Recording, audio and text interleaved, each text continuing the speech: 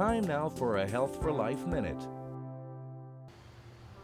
Evidence suggests that patients who have difficulty walking because of peripheral artery disease can improve their ability and increase their walking distance by pushing themselves a little bit every week. But it's important that patients exercise three to four times per week and that they not push themselves too hard. The first week, patients should walk at an easy pace until their pain becomes intense. Stop and rest until the pain disappears, then return to where they started. The second week, increase the distance slightly. The third week, increase it even farther.